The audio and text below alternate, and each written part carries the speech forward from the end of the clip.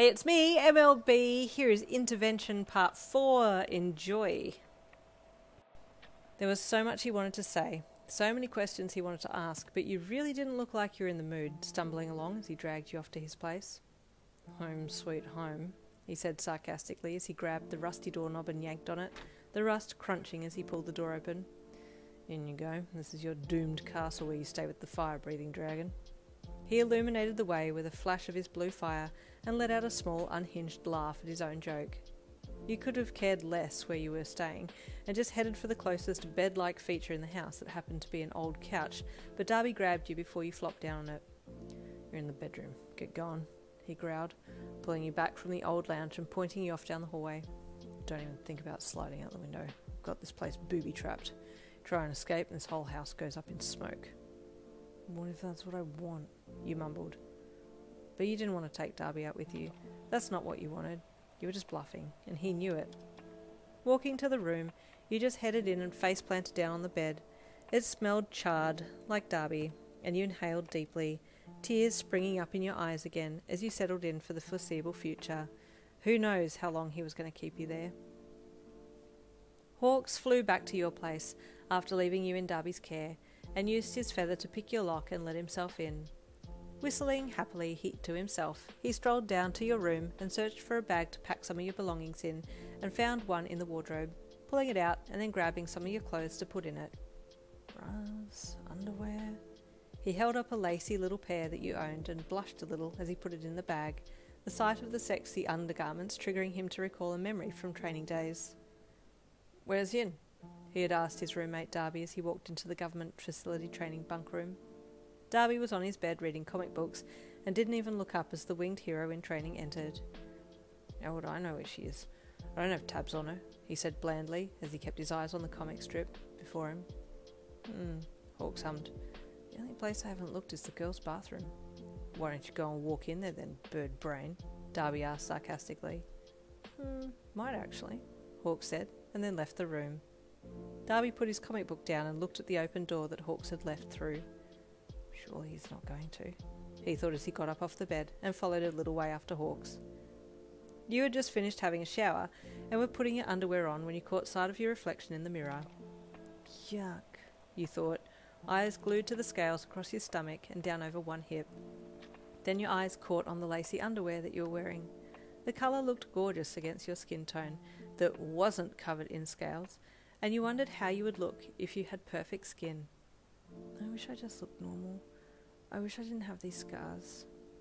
Your face fell into a disappointed scowl, and you crossed your arms across your chest. Whoa, you heard a voice say softly from behind you. You spun around in surprise to see a teenage Hawks poking his head through the bathroom door, bright eyes sparkling at you as you stood there in bra and undies. Get out! you shouted. I don't wanna, he replied in a dreamy voice, his eyes glossing over your perfect form. I said, get out! You screamed at him, picking up your hairdryer and throwing it at him.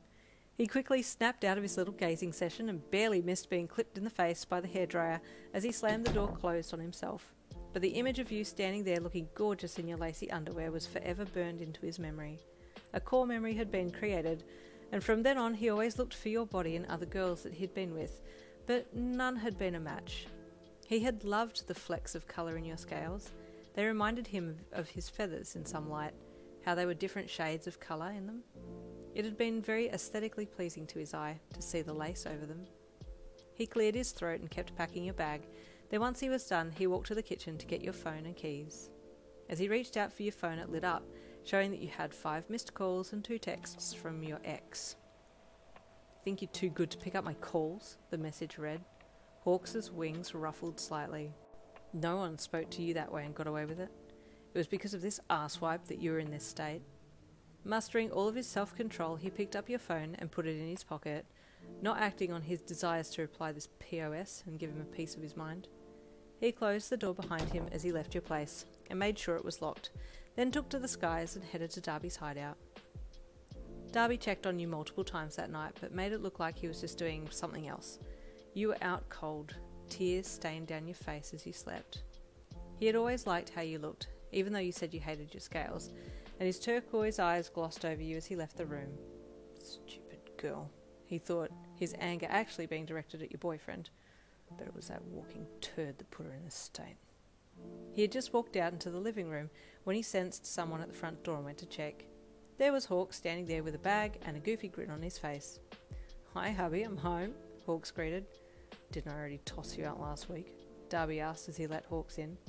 I'm like a boomerang, I just keep coming back, Hawks replied with a smile. Wish you wouldn't, you ego stuffed turkey. Leave her bags and go, Dabi said, following Hawks into the lounge area. How is she? Hawks asked in a low tone as he put your bags down on the ground. Not good, Dabi said honestly. It's her ex, Hawks commented. From what I gather, he's mostly emotionally abusive, but she did have marks on her occasionally. Why don't you step in then, dumbass hero? You're supposed to save people if I recall correctly, Dabi said sarcastically. I did try. She maintained everything was fine. It's hard to help a fish swim when someone else has cut its fins off, Hawks commented. Find the someone who's cutting the fins off and cremate them, Dabi said darkly. Uh, unfortunately, there are rules. Screw the rules. Villains have got it right. Least we protect those we care about. There was a steely standoff between the two, both boys desperately wanting to help you, to save you, and tension was running high.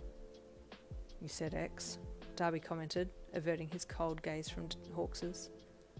Yeah, she said, but I don't know what happened. Hmm. Dabi grunted. Leave it with me. Ah, we love protective boys. On to chapter 5 we go. See you tomorrow.